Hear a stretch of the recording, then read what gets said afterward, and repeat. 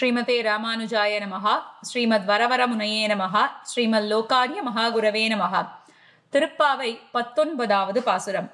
குத்து விளக்கெரிய என்று தொடங்கும் பாசுரம். இதிலே புருஷகார கிருத்தியம் சொல்லப்பட்டிருக்கு. நப்பின்னை பிராட்டியை எழுப்புகிறார்கள். அவள் எழுந்துக்கல. கண்ணனை எழுப்ப ட்ரை பண்றார்கள். கண்ணனும் எழுந்துக்க மாட்டேங்கிறான். கண்ணன் எழுந்துக்கணும்னு முயற்சி பண்ணா நப்பின்னை பிராட்டி அவனை தடுக்கிறா. நப்பின்னை பிராட்டி போகணும்னு நினைச்சா கண்ணன் அவளை தடுக்கிறான். இதெல்லாம் இங்கேருந்து இவா பார்த்துட்டே இருக்கா. வாசல்ல கதவுலேருந்து பார்த்துட்டே இருக்கா. ஜன்னல் வழியா பார்த்துட்டு இருக்கா. அதனால நப்பின்னை பிராட்டியை பார்த்து நீ படுறது தத்துவம் அன்று தகவு ஏலோ தகவும் இல்லை அப்படிங்கிறாங்க. இந்த பாசுரத்துல நாம அனுபவிக்க இருக்கும் திருநாமம் மலர் மார்பா அப்படிங்கிறது. எம்பெருமானுக்கு அகண்ட திருமார்பு இருக்கிறது. மலர் மார்பு அப்படின்னா மலர்ந்த மார்பு அப்படின்னு அர்த்தம். மலர்ந்த மார்பு அப்படின்னு ஏன் சொல்றா? அப்படின்னா இங்கே நப்பினை பிராட்டியுடைய சம்ஸ்லேஷம். சம்ஸ்லேஷன்னா கலவி. அவளுடைய சேர்ந்து இருக்கான். எப்படி? அவளுடைய தலையை இவனுடைய திருமார்பிலே வைத்து கொண்டிருக்கிறான். அதனாலே அவனுக்கு திருமார்பு மலர்ந்து இருக்கிறதாம். எதனால அவனுக்கு அவளோட சம்ஸ்லேஷம் கிடைச்சா எப்படி மலர்ந்து இருக்கணும்? அப்படின்னா ஆஷ்ரிதர்கள் மேலே அவனுக்கு இருக்கிற வியாமோகம். இப்ப எம்பெருமானுடைய ஸ்வரூப நிரூபக தர்மம் பிராட்டி அவனுக்கு ஸ்வரூப நிரூபக தர்மம் அப்படிங்கிறத போன பாசுரத்திலே பார்த்தோம். பிராட்டி அவனுடைய திருமார்பிலே இருக்கிறத வச்சுதான் இவனை திருமால் இவனை நெடுமால் அப்படின்னு ஐடென்டிஃபை பண்ண முடியாது அப்படிப்பட்ட பிராட்டி இவனுடைய திருமார்பிலே எப்படி இருப்பான்னா மாயன் மொய்யகலத்துள் இருப்பாள் அப்படிங்கிறார் திருமங்கையாழ்வார் திருநெடுந்தாண்டகம் என்ற திவ்ய பிரபந்தத்திலே முத்தாரா வனமுலையாள் பாவை மாயன் மொய்யகல துள்ளிருப்பாள் அப்படிங்கிறார். அவனுடைய அகண்ட மார்பிலே இவள் ஒரு பகுதி ஒரு சின்ன பகுதி தான் இவள் இருப்பாளாம். ஆனால் அப்படி அவ இருக்கிறதுனாலேயே இவனுடைய திருமார்பு நன்னா அகண்டு இருக்கிறது. இந்த ஆசிரித்தர்கள் இங்க பிராட்டின்னு சொல்றது எல்லா ஜீவாத்மாக்களுக்கும் பொருத்தம்.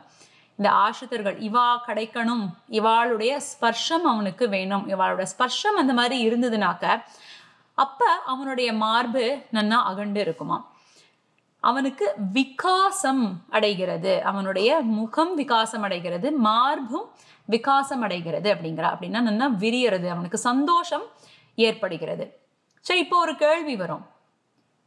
எம்பெருமானை பற்றி சொல்றச்சே அவன் சதைக்க ரூப ரூபாய அவிகாராய அப்படின்னு சொல்றான் அதாவது அவனுக்கு எப்போதும் ஒரே ரூபத்துல இருப்பான். அவனுக்கு விகாரம் விகாரம்னா மாறுதல். அந்த மாறுதல் எதுவும் அவனுக்கு கிடையாது.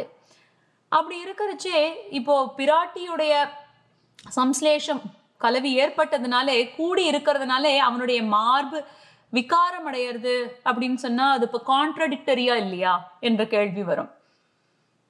இதுக்கு என்ன சமாதானம்னா அந்த விகாரம் ஒரு சாதாரணப்பட்ட ஜீவாத்மாக்கு ஏற்படுற அந்த மாறுதல்கள் அதெல்லாம் கர்மம் அடியாக வருது. கர்மத்தின் காரணமாக நடக்கிறது.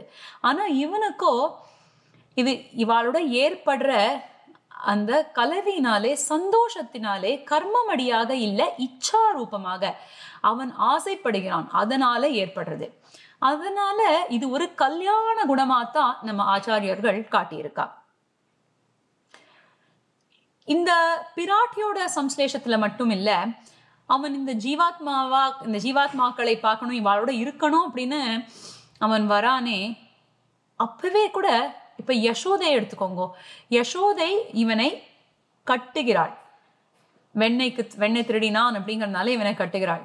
அப்ப தன்னோட சௌலபியத்தை காமிக்கிறதுக்காக தானே இங்க வந்திருக்கோம். அப்படிங்கிறதுனால அவன் அவனுடைய கட்டுக்கு ஆட்படுகிறான் உட்படுகிறான்.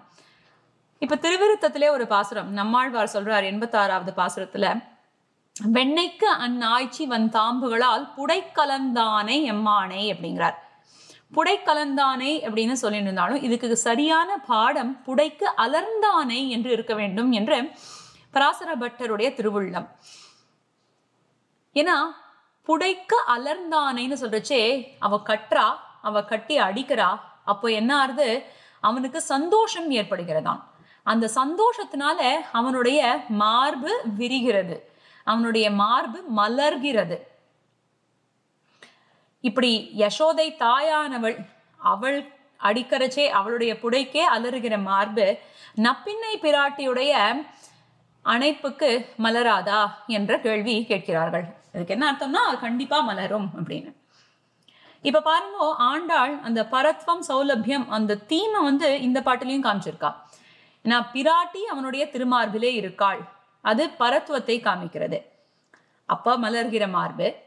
அதே சௌலபியம் இந்த யசோதையுடைய கையால அடி வாங்குறான் அவளால கட்டுண்டு இருக்கான். அப்பயும் அவனுடைய திருமார்பு அலர்கிறது. ஒன்னு பரத்துவத்தை காமிக்கிறது இன்னொன்னு சௌலபியத்தை காமிக்கிறது இங்க. இப்படி இருக்கிற இந்த குணம் இந்த மலர் மார்பா இந்த பேரு அவனுடைய மார்பு அவனை விக்கா அவனை விகாசம் அடைய செய்கிறது. விகாசம்னா இங்க அவனுக்கு நல்ல மலர்ச்சி அதை கொடுக்கறது. அது பிராட்டியாலையும் யசோதையாலையும் மட்டும்தான் முடியுமா? அப்படின்னா கிடையாது. ஏன்னா இந்த இந்த பேரு எல்லா ஜீவாத்மாக்களுக்கும் உண்டு என்று ஆச்சாரியர்கள் காட்டியிருக்கா. எப்படின்னா அழகிய மணவாள பெருமாள் நாயனார் ஆச்சாரிய ஹிருதயத்திலே ஒரு சூத்திரம். பரத அக்ரூர மாருதிகளை பரிஷ்வங்கித்த மணிமிகு மார்பிலே குருமா மணியாய் அணையும் வஸ்து அப்படிங்கிறார். அங்க அவர் நம்மாழ்வாரை பத்தி சொல்றார். ஆனா அது எல்லா ஜீவாத்மாக்களுக்கும் உண்டானதுதான். எப்படின்னா பரதன் அவனுக்கு பெருமாளுடைய ஆலிங்கனம் கிடைச்சது. பெருமாள் அவனை தழுவி கொண்டார். அக்ரூரர் அவர் கண்ணனுடைய சித்தப்பா. கண்ணனை கூட்டிட்டு போறணுங்கிறதுக்காக ஆய்ப்பாடிக்கு வந்து அங்கேருந்து தேரோட்டி கொண்டு மதுராபுரிக்கு அழைத்து செல்கிறார். அவருக்கு கண்ணனோட ஆலிங்கனம் கிடைக்கிறது. அடுத்தது திருவடி. அனுமனுக்கும் பெருமாளுடைய ஆலிங்கனம் கிடைக்கிறது. இப்படி பரத அக்ரூர மாருதிகளை பரிஷ்வங்கித்த மணிமிகு மார்பு என்கிறார். அந்த மார்பிலே குருமா மணியாய் அணையும் வஸ்து ஒரு ஜீவாத்மா மோட்சம் கிடைச்சி இந்த பிறப்பினுடைய முடிவிலே மோட்சம் கிடைச்சு எம்பெருமானை அடைய போகும்போது அந்த ஆதிசேஷ பீഠத்திலே கால் வைத்து அவனுடைய திருமார்பிலே சென்று அணையும். குருமாமணியாய் அணையும் வஸ்துவுக்கு அப்படின்னு அதுக்கு மேலே ஆச்சாரியர்களுடைய சூத்திரம் அமைகிறது.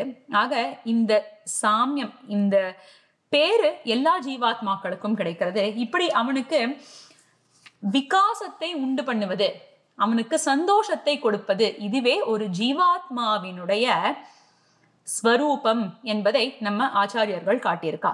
மலர் மார்பா அப்படிங்கிற ஒரு சின்ன பேர்ல எவ்வளோ சம்பிரதாய தத்துவங்களே அடங்கி இருக்கு பாருங்கோ. அதை எவ்வளோ அழகா ஆண்டாள் காட்டியிருக்கா. அதை நாம் நினைவிலே கொண்டு அவளுடைய திருவடிகளை பற்றுவோம். ஆண்டாள் திருவடிகளே சரணம். குத்து விளக்கேறிய கோட்டு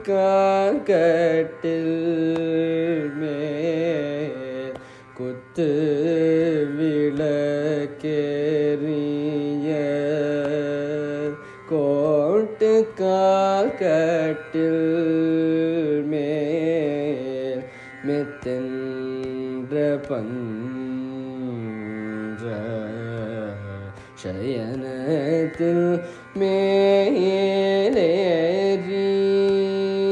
மெத்தென்ற பஞ்ச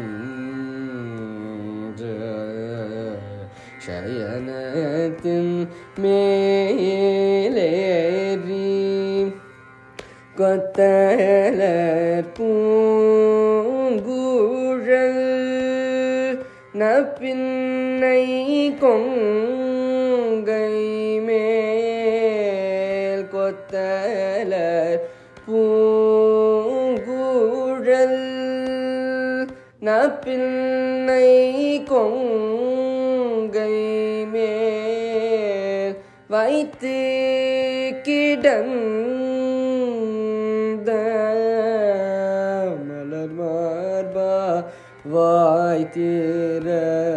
வாய்த்திரவாய் வைத்து கிடந்த மலர் மார்பா வாய் மைத்தடம் கண்ணீனாய் நீ உண்மை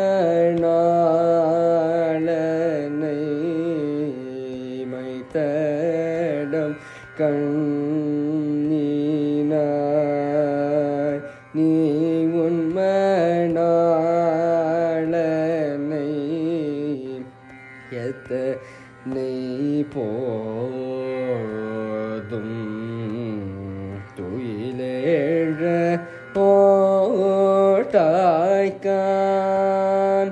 எத்தனை போதும்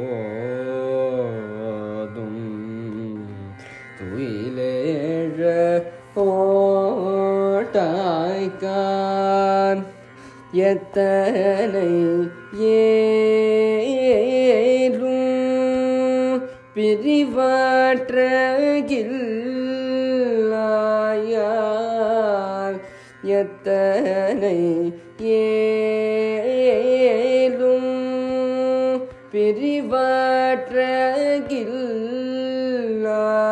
பிரிவாற்றகில்லாயார் தத்துவமன்று தகவேலோ எம்